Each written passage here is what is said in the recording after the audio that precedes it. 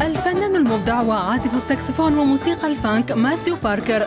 كان من أبرز نجوم الدورة السادسة عشرة من مهرجان جناوة وموسيقى العالم الذي نظم أخيرا في مدينة الصويرة المغربية. ماسيو باركر هو أسطورة حية لها تأثيرها على فن الجاز وهو من بين الفنانين القلائل الذين لا يزالون يبدعون في لون الفانك الأصيل.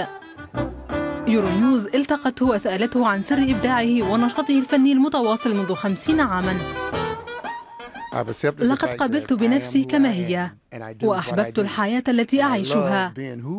أنا أحب أن أكون على سجيتي وأعشق ما أقوم به وذلك هو مصدر طاقتي.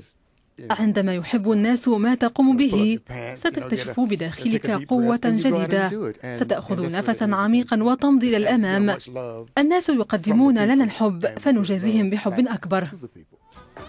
موهبة باركر في العزف على آلة الساكسفون. اكتشفها الفنان جيمس براون عام 1965 ليشكل لمدة طويلة ثنائيا متكاملا في جميع الحفلات الغنائية.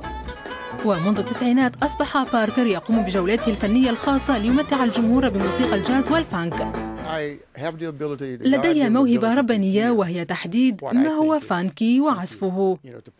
أنا محاط بأناس يعزفون ال funky وهم أعضاء فرقتي. والذين يحبون ما أقوم به في هذا النوع من الموسيقى. إنها موسيقى ممتعة حقا.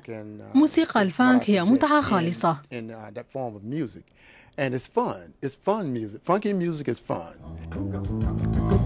موسيقى الفانك مستوحاة من موسيقى السول والجاز وتختلف عنهما بسيطرة الجزء الإيقاعي بفضل الجيتار وال bass وال drums إضافة طبعا إلى آلات النفخ النحاسية والساكسفون. الفانك موسيقى إيقاعية لها رقصاتها المميزة.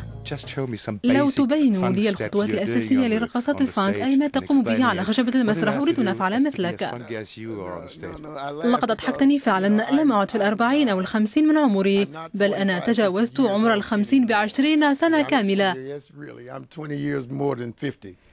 ولكن ما أن تسمع هذه الإيقاعات الموسيقية.